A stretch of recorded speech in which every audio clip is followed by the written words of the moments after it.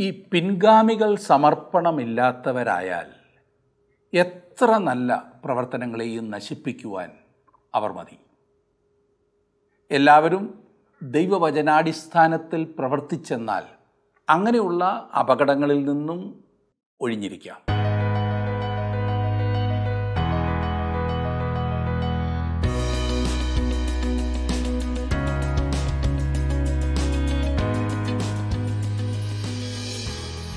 ഇന്നത്തെ പഠനത്തോടു കൂടെ നെഹമ്യാവിന്റെ പുസ്തക പഠനം നാം പൂർത്തീകരിക്കുകയാണ്. നെഹമ്യാവിനെ പോലെ ഒരു ജനപ്രിയ നേതാവാകുവാൻ നമുക്കും കഴിയണം. എഴുപത് വർഷത്തെ പ്രവാസ ജീവിതത്തിന് ശേഷം യഹൂദജനം ബാബലോന്യ അടിമത്വത്തിൽ നിന്നും മോചിതരായത് പേർഷ്യൻ രാജാവായി വന്ന കോരസ് ഭരണമേറ്റപ്പോൾ ആയിരുന്നു എന്ന് നാം കണ്ടു. യഹൂദന്മാർ മൂന്ന് ഘട്ടങ്ങളിലായിട്ടാണ് എരുസലേമിലേക്ക് മടങ്ങി വന്നത്.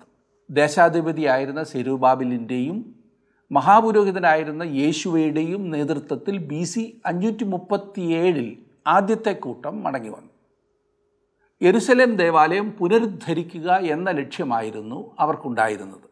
പുതുതായി പണിയുക. അന്ന് അമ്പതിനായിരത്തോളം ജനം എരുസലേമിലെത്തി. എരുസലേമിൽ വന്ന് ദേവാലയ പണി ആരംഭിച്ച ആ ആളുകൾ അധികം താമസിക്കാതെ എതിർപ്പുണ്ടായതിനാൽ പണി പാതി വഴിക്ക് നിർത്തിവെച്ചു. എന്നാൽ പ്രവാചകന്മാരായിരുന്ന ഹഗായിയും സക്രിയാവും ആ ജനത്തെ പ്രോത്സാഹിപ്പിച്ച് പണി പുനരാരംഭിച്ചു. ഈ രണ്ട് പ്രവാചകന്മാരുടെ പ്രോത്സാഹനത്തിന്റെ ഫലമായി ആ ജനം ബാബേലിൽ നിന്ന് വന്ന് ഇരുപത്തിയൊന്ന് വർഷങ്ങൾ കഴിഞ്ഞ് ബി സി അഞ്ഞൂറ്റി പതിനാറിൽ ദേവാലയം പൂർത്തീകരിച്ച് പ്രതിഷ്ഠിച്ചു.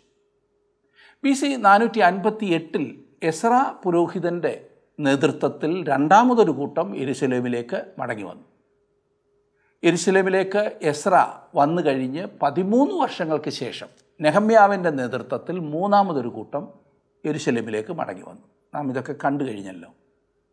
എരുസലേമിന് ചുറ്റുമുണ്ടായിരുന്ന മതിൽ പണിയുക എന്നതായിരുന്നു നെഹമ്യാവിന്റെ ലക്ഷ്യം. നെഹമ്യാവ് പേർഷ്യൻ രാജധാനിയിലെ അതിപ്രധാന ഉത്തരവാദിത്തമുണ്ടായിരുന്ന ഒരു വ്യക്തിയായിരുന്നു എന്ന് നാം കണ്ടു.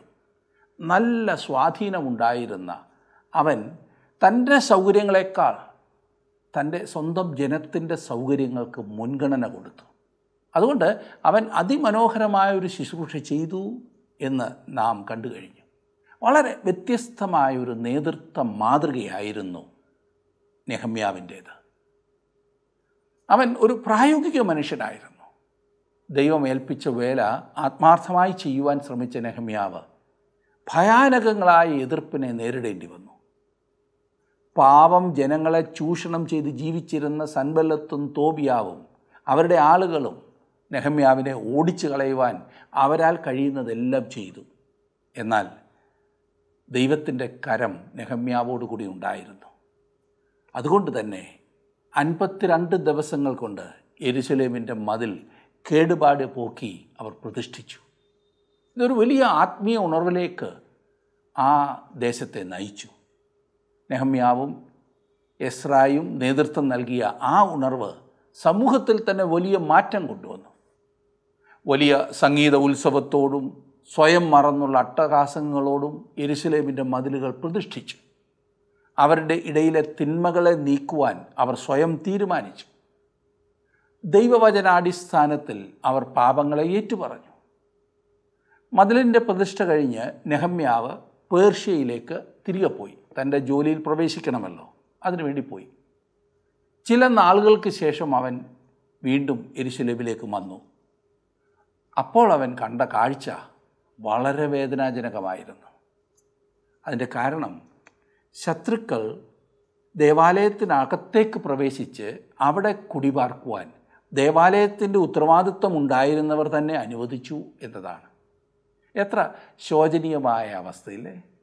പല ആത്മീയ ഉണർവുകളും നശിപ്പിക്കപ്പെടുന്നത് സ്ഥാപിത താല്പര്യങ്ങളോട് പ്രവർത്തിക്കുന്ന നേതാക്കൾ ഉള്ളതുകൊണ്ട് തന്നെയാണ്. ഈ അവസരത്തിൽ നെഹമ്യാവ് പ്രതികരിച്ച വിധം നമുക്ക് ഇന്ന് ഒരുമിച്ച് പഠിക്കാം. ഇന്ന് നെഹമ്യാവിന്റെ പുസ്തകം ഒടുവിലത്തെ രണ്ട് അധ്യായങ്ങളാണ് നാം പഠിക്കുവാൻ പോകുന്നത്. പന്ത്രണ്ടും പതിമൂന്നും അധ്യായങ്ങൾ. എടുത്താട്ടെ. നെഹമ്യാവിന്റെ പുസ്തകം പന്ത്രണ്ട് പതിമൂന്ന് അധ്യായങ്ങൾ.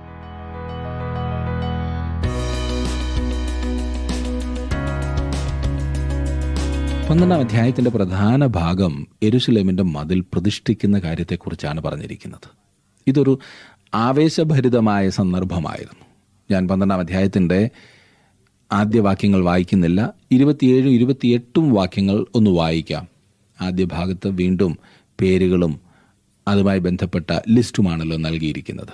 ഇരുപത്തിയേഴ് ഇരുപത്തിയെട്ടും വാക്യങ്ങളിലേക്ക് വരുമ്പോൾ നാം കാണുന്നത് യെരുസലേമിന്റെ മതിൽ പ്രതിഷ്ഠിച്ച സമയം അവർ സ്തോത്രങ്ങളോടും സംഗീതത്തോടും കൂടെ കൈത്താളങ്ങളും വീണകളും കിന്നരങ്ങളും കൊണ്ട് സന്തോഷപൂർവം പ്രതിഷ്ഠ ആചരിപ്പാൻ ലേവ്യരെ അവരുടെ സർവവാസ സ്ഥലങ്ങളിൽ നിന്നും യെരുസലേമിലേക്ക് അന്വേഷിച്ചു വരുത്തി. അങ്ങനെ സംഗീതക്കാരുടെ വർഗം എരുസലേമിന്റെ ചുറ്റുമുള്ള പ്രദേശത്തു നിന്നും നെതോഭാത്യരുടെ ഗ്രാമങ്ങളിൽ നിന്നും ബേത്ത് ഗിൽഗാലിൽ നിന്നും ഗേബയുടെയും അസ്മാവത്തിന്റെയും നാട്ടുപുറങ്ങളിൽ നിന്നും വന്നുകൂടി. സംഗീതക്കാർ യെരുസലേമിന്റെ ചുറ്റും തങ്ങൾക്ക് ഗ്രാമങ്ങൾ പണിതരുന്നു. അവർ സകല സംഗീതക്കാരെയും ഒരുമിച്ച് കൊണ്ടുവന്നു എന്നിവിടെ കാണുന്നു. ഒരു വലിയ സംഗീതോത്സവം അവർക്കുണ്ടായിരുന്നു. കുഞ്ഞാടിന്റെ ജീവപുസ്തകത്തിൽ പേരെഴുതിയിരിക്കുന്നവരുടെ പട്ടികയാണ് ഇവിടെ കാണുന്നത്. യെരുസലേമിന്റെ മതിലുകൾ പ്രതിഷ്ഠിക്കുവാനാണ് അവർ ഒരുമിച്ച് കൂടുന്നത്. നെഹമ്യാവ് ജനങ്ങളെ ദേശത്തിന്റെ എല്ലാ ഭാഗത്തു നിന്നും കൊണ്ടുവന്നു. കാരണം യെരുസലേം ദേവാലയം ഉണ്ടായിരുന്ന പട്ടണം.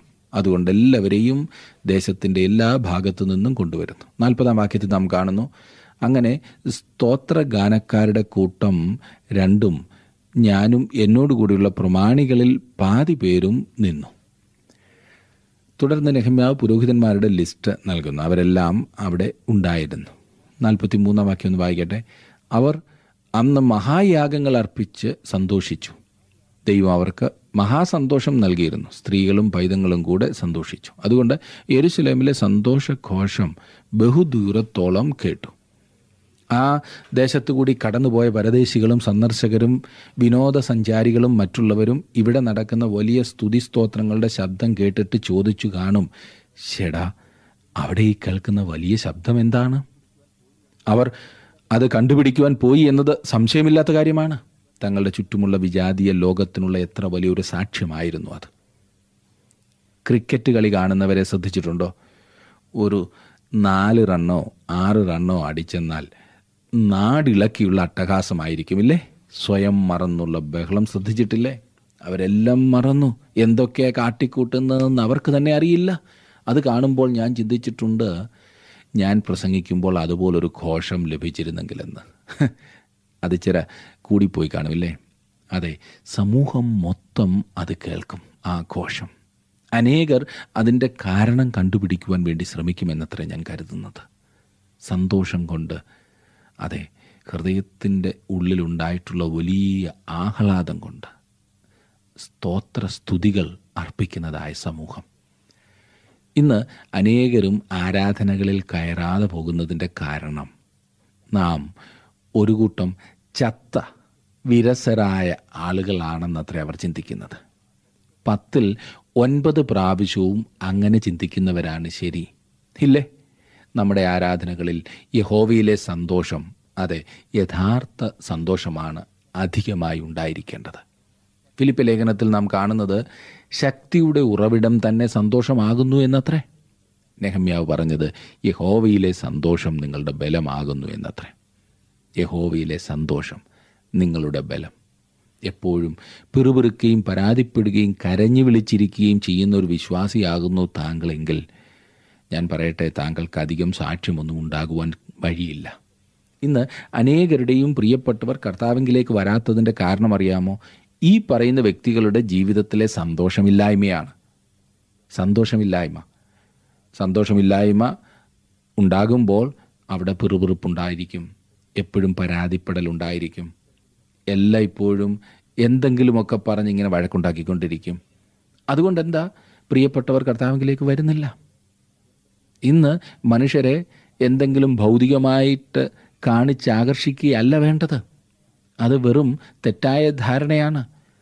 നാം ഭൗതികമായി പണം കൊടുത്തോ വസ്ത്രം കൊടുത്തോ സുഖസൗകര്യങ്ങൾ കൊടുത്തോ ആളുകളെ നേടുകയല്ല വേണ്ടത്. ദൈവവൈദ്യങ്ങളുടെ ജീവിതത്തിലെ സന്തോഷം കാണുമ്പോൾ ആ സന്തോഷം ദൈവം വാഗ്ദത്തം ചെയ്തതാണ്.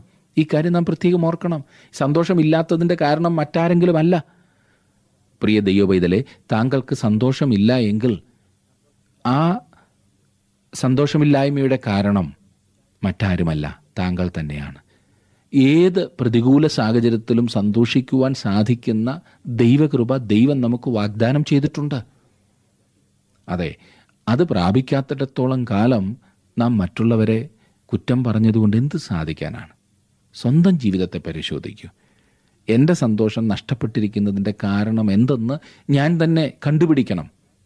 അത് ദൈവവചനത്തിലേക്ക് നാം പോകുമ്പോൾ പ്രാർത്ഥിക്കുവാൻ മുട്ടുമടക്കുമ്പോൾ നമുക്ക് ദൈവം കാണിച്ചു തരും. പന്ത്രണ്ടും പതിമൂന്നും അധ്യായങ്ങൾക്കിടയിൽ എപ്പോഴോ നെഹമ്യാവ് ശൂശൻ രാജധാനിയിലെ തന്റെ ജോലിയിലേക്ക് തിരികെ പോയി എന്ന് നമുക്ക് കാണുവാൻ സാധിക്കും. അവൻ ഒരു അവധിക്ക് മാത്രമേ അപേക്ഷിച്ചിരുന്നുള്ളൂ. വീണ്ടും എരുസലേമിലേക്ക് പോകുന്നതിനായി ഒരു അവധിക്ക് ചോദിച്ചപ്പോൾ അവൻ പേർഷ്യയിൽ കുറേ നാൾ ആയി കാണുമായിരുന്നിരിക്കും അല്ലേ അവൻ ഞെട്ടിപ്പിക്കുന്ന ഒരു കണ്ടുപിടുത്തം നടത്തി. ഞങ്ങൾ തങ്ങൾ കാത്തു സൂക്ഷിക്കേണ്ടിയിരുന്ന വേർപാട് അപ്രകാരം ചെയ്യുന്നില്ലായിരുന്നു. അതത്രേ അവൻ കണ്ടുപിടിച്ചത്. പതിമൂന്നാം അധ്യായത്തിന്റെ ഒന്ന് മുതൽ മൂന്ന് വരെയുള്ള വാക്യങ്ങളിൽ നാം വായിക്കുന്നത് ഞാൻ ആ ഭാഗം ഒന്ന് വായിക്കാം. പതിമൂന്ന് അധ്യായത്തിന്റെ ആദ്യത്തെ മൂന്ന് വാക്യങ്ങൾ. അന്ന് ജനം കേൾക്കെ മോശയുടെ പുസ്തകം വായിച്ചതിൽ അമ്മോന്യരും മോവാബ്യരും ദൈവത്തിന്റെ സഭയിൽ ഒരു നാളും പ്രവേശിക്കരുത്. അവർ അപ്പവും വെള്ളവും കൊണ്ട് ഇസ്രായേൽ മക്കളെ എതിരേറ്റു വരാതെ അവരെ ശപിക്കേണ്ടതിന് അവർക്ക് വിരോധമായി ബിലയാമിനെ കൂലിക്ക് വിളിച്ചു. എങ്കിലും നമ്മുടെ ദൈവം ആ ശാപത്തെ അനുഗ്രഹമാക്കി എന്ന് എഴുതിയിരിക്കുന്നത് കണ്ടു. ആ ന്യായപ്രമാണം കേട്ടപ്പോൾ അവർ സമ്മിശ്ര ജാതികളെയൊക്കെയും ഇസ്രായേലിൽ നിന്ന് വേർപിരിച്ചു. സംഖ്യാപുസ്തകം ഇരുപത്തിമൂന്ന് ഇരുപത്തിനാലും അധ്യായങ്ങളിൽ ബിലയാമിന്റെ സംഭവം നമുക്ക് കാണാവുന്നതാണ്. ഇസ്രായേല്യർ ആ രേഖ വായിച്ചിട്ട് ദൈവവചനത്തെ അനുസരിക്കുവാനാണ് തീരുമാനിച്ചത്. ദൈവം വിലക്കിയിരുന്നതായ അമ്മോന്യരും മോവാബ്യരുമായി അവർ വിവാഹബന്ധം സ്ഥാപിച്ചു. ഈ പറഞ്ഞവരെ ദേശത്തു നിന്നും പുറത്താക്കണമെന്ന് ഇസ്രായേൽ മക്കൾ ഇപ്പോൾ മനസ്സിലാക്കി. നാലാം വാക്യം. അതിനു മുമ്പ് തന്നെ നമ്മുടെ ദൈവത്തിന്റെ ആലയത്തിലെ അറകൾക്ക് മേൽ വിചാരകനായി നിയമിക്കപ്പെട്ടിരുന്ന എല്യാശീബ് പുരോഹിതൻ തോബിയാവിന്റെ ബന്ധുവായിരുന്നതിനാൽ അവനൊരു വലിയ അറ ഒരുക്കി കൊടുത്തിരുന്നു. ഇവിടെ ഇതാ തന്റെ മകന്റെയോ മകളുടെയോ വിവാഹത്താൽ ഈ മഹാപുരോഹിതൻ തോബിയാവുമായി ബന്ധപ്പെട്ടിരിക്കുന്നു. അന്യജാതിക്കാരുമായി വേർപെട്ടിരിക്കണം എന്നുള്ള ദൈവിക കൽപ്പന ആദ്യം ലംഘിച്ചിരിക്കുന്നത് മഹാപുരോഹിതനാണ്. ഭയങ്കരമല്ലേ? അന്യജാതിക്കാരുമായുള്ള വിവാഹം ദൈവം കർശനമായി നിരോധിച്ചിരുന്നു. ഇതിന് വളരെ രസകരമായൊരു ഉദാഹരണം ദൈവം അവർക്ക് നൽകിയതെന്തെന്നാൽ ഒരു കാളയെയും കഴുതയെയും ഒരുമിച്ച് കെട്ടി വിടരുത് എന്നുള്ളതാണ്. ഒരു കാള ശുദ്ധിയുള്ള മൃഗവും കഴുത ശുദ്ധിയില്ലാത്ത മൃഗവുമാകുന്നു. അവരെ ഒരുമിച്ച് കെട്ടി ഉഴുവാൻ പാടില്ല. ഒരു വിശ്വാസിയും അവിശ്വാസിയും തമ്മിൽ വിവാഹബന്ധത്തിൽ ഒന്നാകുവാൻ പാടില്ല. എന്നാൽ ഈ പറഞ്ഞ സമയത്ത് ആ ദൈവകൽപ്പന ആദ്യം ലംഘിച്ചത് മഹാപുരോഹിതനാണ്. വിവാഹത്തിൽ മാത്രമല്ല ബിസിനസ്സിലും വിശ്വാസിയും അവിശ്വാസിയും കൂടി ഒന്നിച്ചു ചേരുവാൻ പാടില്ല. ആ വിധത്തിൽ ചേർന്നെന്നാൽ വിശ്വാസിക്കായിരിക്കും നഷ്ടം. അതുകൊണ്ട് മാത്രമാണ്. ലോകം ഒരു ദൈവപൈതലിനെ പകയ്ക്കുമെന്നുള്ള പ്രമാണത്തിലാണ് ഈ കാര്യം ഞാൻ പറയുന്നത്. അതെ എപ്പോഴും നഷ്ടം ഒരു ദൈവപൈതലിനായിരിക്കും. ഒന്നുകിൽ ഈ വിശ്വാസി തന്റെ വിശ്വാസം നഷ്ടപ്പെടുത്തും. അതെ തന്റെ ക്രിസ്തീയ ജീവിതത്തിൽ പിന്മാറ്റ അനുഭവം ഉണ്ടാകുവാൻ സാധ്യതയുണ്ട്. അതുകൊണ്ട് വളരെ ശ്രദ്ധിക്കണം എത്രയും പിടിച്ചു നിൽക്കാമെന്ന് ചിന്തിക്കുന്ന വ്യക്തികൾ പോലും പിന്നീട് പറഞ്ഞു കേട്ടിട്ടുണ്ട് ബുദ്ധിമുട്ടാണ് എന്ന്. അഞ്ചാം വാക്യത്തിൽ നാം വായിക്കുന്നത് മുമ്പേ അവിടെ ഭോജനയാഗം കുന്തുരുക്കം ഉപകരണങ്ങൾ എന്നിവയും ലേവ്യർക്കും സംഗീതക്കാർക്കും വാതിൽ കാവൽക്കാർക്കും വേണ്ടി നിയമിച്ച ധാന്യം വീഞ്ഞ് എണ്ണ എന്നിവയുടെ ദശാംശവും പുരോഹിതന്മാർക്കുള്ള ഉദർച്ചാർപ്പണങ്ങളും വെച്ചിരുന്നു. മഹാപുരോഹിതന്റെ കുടുംബവുമായി വിവാഹബന്ധത്തിൽ ഏർപ്പെട്ടതിനാൽ തോബിയാവിന് ദേവാലയ കാര്യങ്ങളിൽ സ്വാധീനം ലഭിച്ചു. ദേവാലയത്തിന്റെ ആ സ്റ്റോറേജായി ഉപയോഗിച്ചിരുന്ന മുറിയിൽ ഇപ്പോൾ ഈ ശത്രു തോബിയാവാണ് താമസിക്കുന്നതെന്ന് പറഞ്ഞാൽ ഒന്ന് ചിന്തിച്ചു നോക്കൂ. ജനങ്ങൾ കൊണ്ടുവരുന്ന വഴിപാടുകൾ അവർ ഈ സ്റ്റോറിലേക്ക് കൊണ്ടുവന്നില്ല. മറിച്ച് അവർ ചെയ്തത് അവർ ആ മുറി വൃത്തിയാക്കി. നല്ല ഒന്നാന്തരം ഒരു പരവതാനി വിരിച്ച് കുറേ നല്ല സാധന സാമഗ്രികൾ കൊണ്ടുവന്ന് കിടക്കുവാൻ ഒരു കട്ടിലും മെത്തയും എന്നിട്ട് തോബിയാവിനെ അവിടേക്ക് ക്ഷണിച്ചു. അവന് ആവശ്യമുള്ളപ്പോഴെല്ലാം ആ മുറി ഉപയോഗിക്കാമെന്ന് അവർ അവനോട് പറഞ്ഞു. എന്തൊരു കഷ്ടമാണില്ലേ? നെഹമ്യാവ് ദൈവം ഏൽപ്പിച്ചതായ ആ വേല ചെയ്യുവാനായി തുനിഞ്ഞിറങ്ങിയപ്പോൾ അതിന് മുൻപോട്ട് വന്നപ്പോൾ അവനെ എതിർത്ത വ്യക്തി ഇപ്പോൾ ഇതാ ദേവാലയത്തിനകത്ത്. ഭയാനകമായ സ്ഥിതിവിശേഷം. ഇന്ന് അനേകരും ഇത് തന്നെയാണ് ചെയ്യുന്നത്. ദൈവത്തിന്റെ ശത്രു നമ്മെ സ്വാധീനിക്കുന്നതായ അവസ്ഥ. ഞാൻ ഉദ്ദേശിച്ചത് ഏതെങ്കിലും മനുഷ്യനെക്കുറിച്ചല്ല. അതെ പിശാചിനടിമപ്പെട്ട് അവനിടം കൊടുത്ത് ജീവിക്കുന്നതായ ഓരോ ദൈവവൈതലിനെയും കുറിച്ചാണ്. താങ്കളുടെ വിലപ്പെട്ട നിർദ്ദേശങ്ങളും അഭിപ്രായങ്ങളും പ്രാർത്ഥനാ വിഷയങ്ങളും ഇന്ന് തന്നെ ഞങ്ങളെ വിളിച്ചറിയിക്കുക. വിളിക്കേണ്ട number eight two eight one three eight four four five five.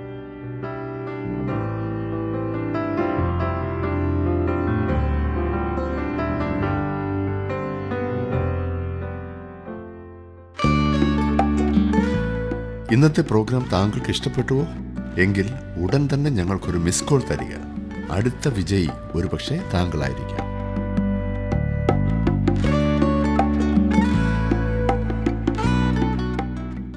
ആറ് മുതലുള്ള വാക്യങ്ങളിൽ ഈ കാലത്തൊക്കെയും ഞാൻ എരുസലേമിൽ ഉണ്ടായിരുന്നില്ല. ബാബേൽ രാജാവായ അർത്ഥകശ്രഷ്ടാവിന്റെ മുപ്പത്തി രണ്ടാം ആണ്ടിൽ ഞാൻ രാജാവിന്റെ അടുക്കൽ പോയിരുന്നു. കുറേ നാൾ കഴിഞ്ഞിട്ട് ഞാൻ രാജാവിനോട് അനുവാദം വാങ്ങി യെരുശലേമിലേക്ക് വന്നാറെ എല്യാശീബ് തോബിയാവിന് ദേവാലയത്തിന്റെ പ്രാകാരങ്ങളിൽ ഒരു അറ ഒരുക്കിക്കൊടുത്തതിനാൽ ചെയ്ത ദോഷം ഞാൻ അറിഞ്ഞു. അത് എനിക്ക് അത്യന്തം വ്യസനമായതുകൊണ്ട് ഞാൻ തോബിയാവിന്റെ വീട്ടു സാമാനമൊക്കെയും അറയിൽ നിന്ന് പുറത്ത് എറിഞ്ഞു കളഞ്ഞു. നെഹമ്യാവ് എരുസലേമിൽ ഇല്ലാതിരുന്ന സമയത്താണ് ഇതെല്ലാം സംഭവിച്ചത്. ഈ നെഹമ്യാവിനെ എനിക്ക് വളരെ ഇഷ്ടമാണ്. അവൻ പറഞ്ഞു ഞങ്ങൾ തോബിയാവിനെ പുറത്ത് കളയുവാൻ പോകുകയാണ്. അവൻ ദേവാലയത്തിൽ പാർക്കുവാൻ പോകുന്നില്ല.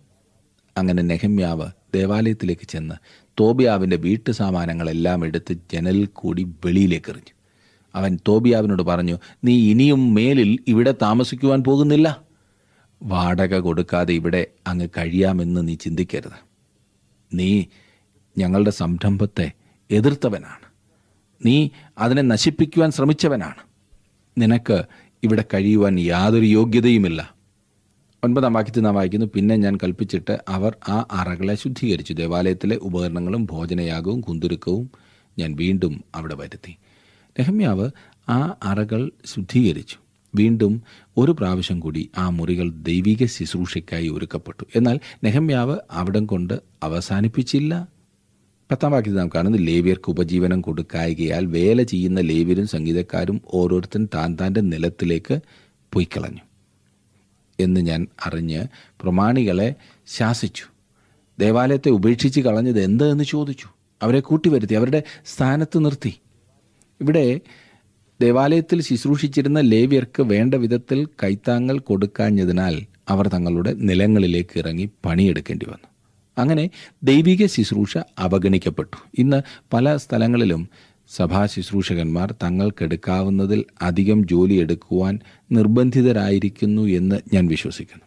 ചില കുബുദ്ധികൾ പറഞ്ഞേക്കാം അവർക്ക് ആഴ്ചയിൽ ഒരിക്കലുള്ള പണിയേ ഉള്ളൂ എന്ന്. എന്നാൽ ഭവന സന്ദർശനം സഭയുടെ ഔദ്യോഗിക കാര്യങ്ങൾ പള്ളി പണി പാരീഷ് ഹാൾ പണി പാഴ്സനേജ് പണി അങ്ങനെ എല്ലാ കാര്യത്തിലും സഭാ ശുശ്രൂഷകൻ മുൻകൈ എടുക്കണം. ഫലമോ ദൈവവചനം പഠിക്കുവാൻ സമയമില്ല. അത് അവഗണിച്ചിരിക്കുകയാണ്. ഒരു സഭാ ശുശ്രൂഷകന്റെ ഏറ്റവും പ്രധാനപ്പെട്ട ജോലി ദൈവവചനം പഠിച്ച് തന്റെ ജനത്തെ അത് പഠിപ്പിക്കുക എന്നുള്ളതത്രേ. അതിനു വേണ്ടിയിട്ടാണ് അവനെ നിയോഗിച്ചിരിക്കുന്നത്. അതാണ് അവന്റെ മുൻഗണന. അങ്ങനെ പഠിപ്പിക്കപ്പെടുന്ന ഒരു സഭ എല്ലാം കൊണ്ടും വളരും. അവിടെ വലിയ പള്ളിയില്ലെങ്കിലും വളരും പള്ളിയൊക്കെ തന്നെ വന്നോളും. പാരിഷ് ഹോളില്ലെങ്കിലും വളരും പാർക്കുവാനായി പാഴ്സണേജിലെങ്കിലും വളരും. കാരണം ദൈവവചനം പഠിപ്പിക്കുന്നിടത്ത് ആളുകൾ തടിച്ചുകൂടും. നെഹമ്യാവ് ഇവിടെ പറയുന്നത് ലേവ്യരുടെ ശമ്പളം വർദ്ധിപ്പിക്കണം എന്നത്രേ. അവൻ ജനങ്ങളോട് പറയുന്നു ഇവിടുത്തേക്ക് അവകാശപ്പെട്ട ദശാംശം നിങ്ങൾ ഇവിടെ കൊണ്ടുവരുവാൻ പോവുകയാണ് ഞാൻ നോക്കട്ടെ ദൈവവേലയിലായിരിക്കുന്ന ഈ പുരുഷന്മാരെ വേണ്ട വിധത്തിൽ സംരക്ഷിക്കാമോ എന്ന്. ഈ വിധം തീഷ്ണതയുള്ള ഒരു ആത്മായ ശുശ്രൂഷകനെ ഒരു ആത്മായനെ എനിക്കിഷ്ടമാണ്. ഇവൻ പുരോഹിതനല്ല. അത് ദൈവം അംഗീകരിക്കുകയും ചെയ്തു. അതെ ഇന്ന് അനേകം സാധാരണക്കാരുടെ തീഷ്ണതയാലാണ് നമ്മുടെ ഈ രാജ്യത്തിലെ സുവിശേഷ വേല നടക്കുന്നത് എന്ന് താങ്കൾക്കറിയാമോ? പൂർണസമയ സുവിശേഷ വേലക്കാരെന്ന് പറയുന്ന അനേകരും തങ്ങളുടെ ജീവിതത്തിൽ മറ്റുള്ളവരുടെ സുവിശേഷം അറിയിക്കുന്നതിന് പ്രാധാന്യം കൊടുക്കാതിരിക്കുമ്പോൾ അനേക സാധാരണക്കാർ സുവിശേഷത്തിന് വേണ്ടിയിട്ട് ഇറങ്ങിത്തിരിച്ചിരിക്കുന്നു. തങ്ങൾക്കുള്ള പണവും തങ്ങൾക്കുള്ള കഴിവുകളും എല്ലാം അതിനുവേണ്ടി നൽകുവാൻ അവർ തയ്യാറാണ് നൽകിക്കൊണ്ടുമിരിക്കുന്നു. പതിനാലാം വാക്യത്തിലേക്ക് വരുമ്പോൾ നാം കാണുന്നത് എന്റെ ദൈവമേ ഇത് എനിക്കായി ഓർക്കണമേ. ഞാൻ എന്റെ ദൈവത്തിന്റെ ആലയത്തിനും അതിലെ ശുശ്രൂഷയ്ക്കും വേണ്ടി ചെയ്ത എന്റെ സൽപ്രവൃത്തികളെ മായിച്ചു കളയരുതേ താൻ ചെയ്തത് രേഖപ്പെടുത്തുവാൻ നെഹമ്യാവ് ദൈവത്തോട് അപേക്ഷിക്കുന്നു. ദൈവം അങ്ങനെ തന്നെ ചെയ്തു. ഇവിടെ ഇത് അവന്റെ വചനത്തിൽ രേഖപ്പെടുത്തിയിരിക്കുന്നു. നെഹമ്യാവ് ജനങ്ങൾ ചെയ്തിരുന്ന വേറൊരു തെറ്റായ കാര്യവും കണ്ടുപിടിച്ചു. അവർ ശബത്ത് ലംഘിക്കുകയായിരുന്നു. പതിനഞ്ച് മുതലുള്ള വാക്യങ്ങളിൽ നാം കാണുമ്പോൾ പതിനഞ്ചും പതിനാറും. ആ കാലത്ത് യഹൂദിയിൽ ചിലർ ശബത്തിൽ മുന്തിരിച്ചക്ക് ചവിട്ടുന്നതും കറ്റ കൊണ്ടുവരുന്നതും കഴുതപ്പുറത്ത് ചുമട്ട് കയറ്റുന്നതും ശബത്തിൽ വീഞ്ഞ് മുന്തിരിപ്പഴം അത്തിപ്പഴം മുതലായ ചുമടെല്ലാം എരുസലേമിലേക്ക് ചുമന്നുകൊണ്ടുവരുന്നതും കണ്ടു. അവർ ഭക്ഷണ സാധനം വിൽക്കുന്ന ദിവസത്തിൽ ഞാൻ അവരെ പ്രബോധിപ്പിച്ചു. സൂര്യരും അവിടെ പാർത്ത് മത്സ്യവും പലചരക്കും കൊണ്ടുവന്ന് ശബത്തിൽ യഹൂദർക്കും എരുസലേമിലും വിറ്റുപോന്നു. അവർ സമുദ്രതീരത്തു നിന്നും മത്സ്യവുമായി വന്നു എന്നിവിടെ കാണുന്നു. പതിനേഴാം വാക്യത്തിൽ അതുകൊണ്ട് ഞാൻ യഹൂദ ശ്രേഷ്ഠന്മാരെ ശാസിച്ചു. നിങ്ങൾ ശബത്ത് നാൾ അശുദ്ധമാക്കി ഇങ്ങനെ ദോഷം ചെയ്യുന്നതെന്ത്? ഇവിടെ യഹൂദ ശ്രേഷ്ഠന്മാരായിരുന്നു ഇത് അനുവദിച്ചത് എന്ന് വ്യക്തമാണ്. പതിനെട്ടാം വാക്യം നിങ്ങളുടെ പിതാക്കന്മാർ ഇങ്ങനെ ചെയ്തതിനാലല്ലയോ നമ്മുടെ ദൈവം നമ്മുടെ മേലും ഈ നഗരത്തിന്മേലും ഈ അനർത്ഥമൊക്കെയും വരുത്തിയിരിക്കുന്നത്. എന്നാൽ നിങ്ങൾ ശബത്തിനെ അശുദ്ധമാക്കുന്നതിനാൽ ഇസ്രായേലിന്മേലുള്ള ക്രോധം വർദ്ധിപ്പിക്കുന്നു എന്ന് അവരോട് പറഞ്ഞു. ഇവിടെ ഈ ജനം ഇപ്പോൾ ചെയ്യുന്നത് പോലുള്ള കാര്യം തന്നെ ചെയ്തതിനാലാണ് പണ്ട് ദൈവകോപം അവരുടെ പിതാക്കന്മാരുടെ മേൽ വന്നത് എന്ന് നെഹമ്യാവ് അവരെ ബോധ്യപ്പെടുത്തുന്നു. പത്തൊൻപത് മുതലുള്ള വാക്യങ്ങൾ. പിന്നെ ശബത്തിന് മുമ്പേ യെരുസലേം നഗരവാതിലുകളിൽ ഇരുട്ടായി തുടങ്ങുമ്പോൾ വാതിലുകൾ അടപ്പാനും ശബത്ത് കഴിയും വരെ അവ തുറക്കാതിരിക്കാനും ഞാൻ കൽപ്പിച്ചു. ശബത്ത് നാളിൽ ഒരു ചുമടും അകത്ത് കടത്താതിരിക്കേണ്ടതിന് വാതിലുകൾക്കരികെ എന്റെ ആളുകളിൽ ചിലരെ നിർത്തി. ഇരുപത്തി ഒന്നാം വാക്യം വരെ നോക്കാം. അതുകൊണ്ട് കച്ചവടക്കാരും പലചരക്ക് വിൽക്കുന്നവരും ഒന്ന് രണ്ട് പ്രാവശ്യം എരുസലേമിന് പുറത്ത് രാപാർത്തു. ആകയാൽ ഞാൻ അവരെ പ്രബോധിപ്പിച്ചു. നിങ്ങൾ മതിലിനരികെ രാപാർക്കുന്നത് എന്ത്? നിങ്ങൾ ഇനിയും അങ്ങനെ ചെയ്താൽ ഞാൻ നിങ്ങളെ പിടിക്കും എന്നവരോട് പറഞ്ഞു. ആ കാലം മുതൽ അവർ ശബത്തിൽ വരാതെ ഇരുന്നു. ശബത്തിന് തൊട്ടു മുൻപ് സൂര്യൻ അസ്തമിച്ചു തുടങ്ങുമ്പോൾ വാതിലുകൾ അടയ്ക്കണം എന്ന് നെഹമ്യാവ് കൽപ്പിച്ചു. തങ്ങളുടെ സാമാനങ്ങൾ വിൽക്കാം എന്ന ചിന്തയിലാണ് കച്ചവടക്കാർ വന്നത്. നെഹമ്യാവ് മതിലിന്മേൽ കയറി കച്ചവടക്കാർ വെളിയിൽ നിൽപ്പുണ്ടോ എന്ന് നോക്കി. അവർ വെളിയിൽ നിൽക്കുന്നതായി നെഹമ്യാവ് കണ്ടു. അവർ ആദ്യത്തെ ശബത്തിൽ വന്നപ്പോൾ വാതിൽ അടച്ചിരിക്കുന്നതായി കണ്ടു. രണ്ടാമത്തെ ശബത്തിലും അത് തന്നെ അവർ കണ്ടു വാതിൽ അടച്ചിരിക്കുന്നത് കണ്ടു. അപ്പോൾ നെഹമ്യാവ് അവരോട് പറഞ്ഞത് ഇനിയും നിങ്ങൾ വന്നാൽ ഞാൻ നിങ്ങൾ വരുമ്പോൾ തന്നെ പിടിക്കുമെന്നത്രേ. അവൻ പറയുന്നത് പോലെ ചെയ്യുമെന്ന് മനസ്സിലാക്കിയ കച്ചവടക്കാർ പിന്നെ വന്നിട്ടില്ല. വേറൊരു അതിക്രമം നെഹമ്യാവിന്റെ ശ്രദ്ധയിൽപ്പെടുന്നതാണ് ഇരുപത്തിമൂന്ന് മുതലുള്ള വാക്യങ്ങളിൽ നാം കാണുന്നത്. ഇരുപത്തിമൂന്ന് മുതൽ ഇരുപത്തിയഞ്ച് വരെ ഞാൻ വായിക്കട്ടെ. ആ കാലത്ത് ഞാൻ അസ്തോദ്യരും അമ്മോന്യരും മൊവാബ്യരുമായ സ്ത്രീകളെ വിവാഹം കഴിച്ച യഹൂദന്മാരെ കണ്ടു. അവരുടെ മക്കൾ പാതി അസ്തോദ്യ ഭാഷ സംസാരിച്ചു. അവർ അതത് ജാതിയുടെ ഭാഷയല്ലാതെ യഹൂദ ഭാഷ സംസാരിപ്പാൻ അറിഞ്ഞില്ല. അവരെ ഞാൻ ശാസിച്ചു ശപിച്ചു അവരിൽ ചിലരെ അടിച്ചു അവരുടെ തലമുടി പറിച്ചു നിങ്ങളുടെ പുത്രിമാരെ അവരുടെ പുത്രന്മാർക്ക് കൊടുക്കരുത്. അവരുടെ പുത്രിമാരെ നിങ്ങളുടെ പുത്രന്മാർക്കോ നിങ്ങൾക്കോ എടുക്കുകയും അരുത് എന്ന് ആജ്ഞാപിച്ച് അവരെ കൊണ്ട് ദൈവനാമത്തിൽ സത്യം ചെയ്യിച്ചു. നോക്കണേ അന്യജാതിക്കാരത്തികളെ വിവാഹം കഴിച്ചിരുന്ന യഹൂദന്മാരെ നെഹമ്യാവ് കണ്ടു. നെഹമ്യാവ് അവരെ എതിരിട്ടു അവരെ ശപിച്ചു. അവരിൽ ചിലരെ അടിച്ചു എന്ന് നാം വായിക്കുന്നു. അവരുടെ തലമുടി പിച്ചിപ്പറിച്ചു. അവരെ അവൻ ശപിച്ചു. എന്ന് പറഞ്ഞാൽ അവരെ പ്രാഗി എന്ന അർത്ഥത്തിലല്ല. പിന്നെയോ അവരുടെ മേലൊരു ശാപം പ്രഖ്യാപിച്ചു എന്ന അർത്ഥത്തിലാണ്. തങ്ങൾ ഇനി മേലിൽ അന്യജാതിക്കാരത്തികളെ വിവാഹം ചെയ്യില്ല എന്ന് അവരെ കൊണ്ട് ശപഥം ചെയ്യിച്ചു. അവൻ വളരെ കർക്കശമായൊരു നിലപാടെടുക്കുകയായിരുന്നു എന്നാൽ അത് ആവശ്യമായിരുന്നു.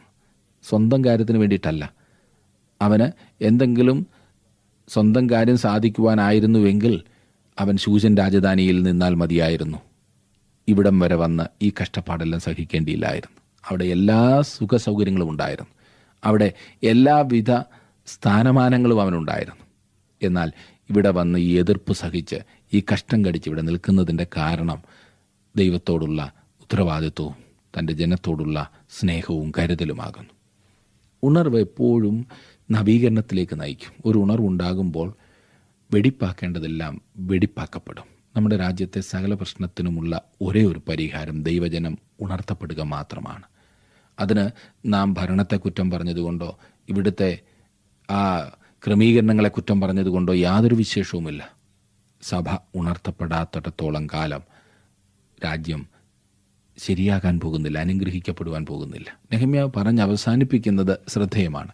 ഇരുപത്തി ഒൻപത് മുതൽ മുപ്പത്തിയൊന്ന് വരെ ഞാൻ വായിക്കട്ടെ. ഇരുപത്തി ഒൻപത് മുതൽ എന്റെ ദൈവമേ അവർ പൗരോഹിത്യത്തെയും പൗരോഹിത്യത്തിന്റെയും ലേവരുടെയും നിയമത്തെയും മലിനമാക്കിയിരിക്കുന്നത് അവർക്ക് കണക്കിടണമേ. ഇങ്ങനെ ഞാൻ അന്യമായതൊക്കെയും നീക്കി അവരെ ശുദ്ധീകരിക്കുകയും പുരോഹിതന്മാർക്കും ലേവ്യർക്കും ഓരോരുത്തരും താൻ താന്റെ വേലയിൽ ശുശ്രൂഷ ക്രമവും നിശ്ചിത സമയങ്ങൾക്ക് വിറക് വഴിപാടും ആദ്യ ഫലവും നിയമിക്കുകയും ചെയ്തു. എന്റെ ദൈവമേ ഇത് എനിക്ക് നന്മയ്ക്കായിട്ട് ഓർക്കണമേ. തന്റെ ജനങ്ങളുടെ ആത്മിക കാര്യത്തിൽ നെഹമ്യാവ് നൽകിയ വലിയ സംഭാവനകൾ ഈ വാക്യങ്ങൾ ചുരുക്കമായി പറയുന്നു. അന്യ അന്യജാതിക്കാരെ ഉത്തരവാദിത്വമുള്ള സ്ഥാനങ്ങളിൽ നിന്നും നീക്കി പുരോഹിതന്മാരെയും ലേവ്യരെയും അവരുടേതായ ജോലികളിലാക്കി. ഒരു കാര്യം ഓർക്കണം ഇത് ഏതെങ്കിലും മനുഷ്യനോട് ദേഷ്യമുള്ളത് കൊണ്ടല്ല പിന്നെയോ ശരിയായ നടത്തിപ്പിന് ദൈവവചനത്തിൽ ആശ്രയിച്ച് മുൻപോട്ട് പോകുവാൻ വേണ്ടിയാകുന്നു ഇതുപോലെ ചിലരെ നീക്കുകയും ചിലരെ ആക്കുകയും ചെയ്തത്. ദേവാലയത്തിനായുള്ള വഴിപാടുകൾ നെഹമ്യാവ് പുനഃസ്ഥാപിച്ചു. നെഹമ്യാവിന്റെ ഒടുവിലത്തെ വാക്കുകൾ എന്റെ ദൈവമേ ഇത് എനിക്ക് നന്മയ്ക്കായിട്ട് ഓർക്കണമേ എന്നതായിരുന്നു. ദൈവം ആ പ്രാർത്ഥനയ്ക്ക് മറുപടി നൽകിയതാണ് ഈ പുസ്തകം. അതെ ദൈവം തന്റെ മക്കളെയും അവരുടെ പ്രവർത്തനങ്ങളെയും ഓർക്കുന്നു. നാം ദൈവത്തിന് വേണ്ടി ചെയ്യുന്ന ഏതൊരു കാര്യവും ദൈവം മാനിക്കും. അതിന് ദൈവം പ്രതിഫലം തരും. നാം ചെറുതെന്ന് ചിന്തിക്കുന്നതും വലുതെന്ന് ചിന്തിക്കുന്നതും എല്ലാം ദൈവസന്നിധിയിൽ വളരെ വിലപ്പെട്ടതാണ്. ദൈവത്തിനായി നാം ആത്മാർത്ഥതയോടെ ചെയ്യുന്നതെല്ലാം ദൈവം മാനിക്കും. നെഹമ്യാവിന്റെ ജീവിതത്തിലൂടെയും ത്യാഗോജ്വലമായ പ്രവർത്തനങ്ങളിലൂടെയും നാം പഠിച്ചത് അതത്രേ. നെഹമ്യാവിന്റെ പുസ്തക പഠനം നിങ്ങൾക്ക് പ്രയോജനകരമായിരുന്നുവല്ലോ. ഞങ്ങളുമായി ബന്ധപ്പെടുവാൻ പ്രത്യേകം നിങ്ങളെ ഞാൻ പ്രോത്സാഹിപ്പിക്കട്ടെ. ഞങ്ങളെ കത്തുകൾ എഴുതിയോ അതുപോലെ തന്നെ ഫോൺ വിളിച്ചോ ഒക്കെ ഞങ്ങളുമായി ബന്ധപ്പെടുവാനായിട്ട് സാധിക്കും. നിങ്ങളുടെ സഹകരണത്തിന് വളരെ നന്ദി. ദൈവം നിങ്ങളെ സമൃദ്ധിയായിട്ട് അനുഗ്രഹിക്കട്ടെ. അടുത്ത ക്ലാസ്സിൽ നമുക്ക് വീണ്ടും കാണാം.